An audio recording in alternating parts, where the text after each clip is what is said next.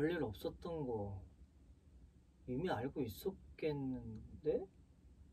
이미 체크 다 하고 있었네.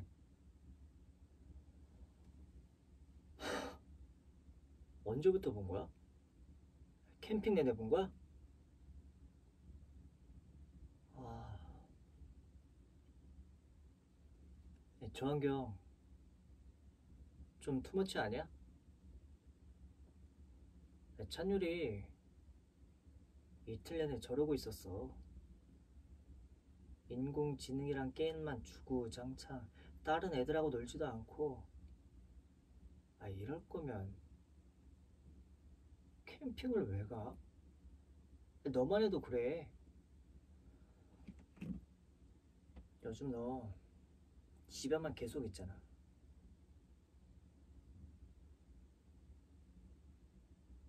아니 솔직히 이 저거 말고 뭐 다른 사람들이랑 뭐 대화한 적 있어?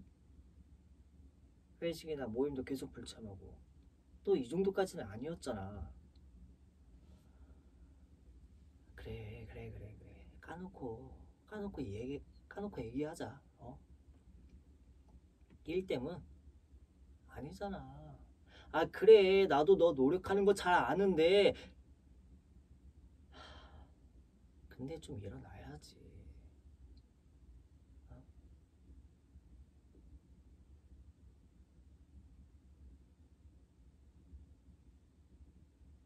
너